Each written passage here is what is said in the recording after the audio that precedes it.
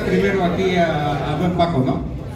A ver, yo sí tengo la facultad, en base a la ley, espérenme. A ver, si lo que nos trae aquí a este asunto es legalizar nada más, legalizar al Comité del Agua, no venimos por otro, por eso, por eso, por eso, sí, sí.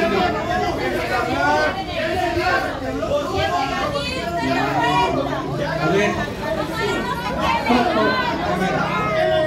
¿Con, qué, demostramos que ya ganó?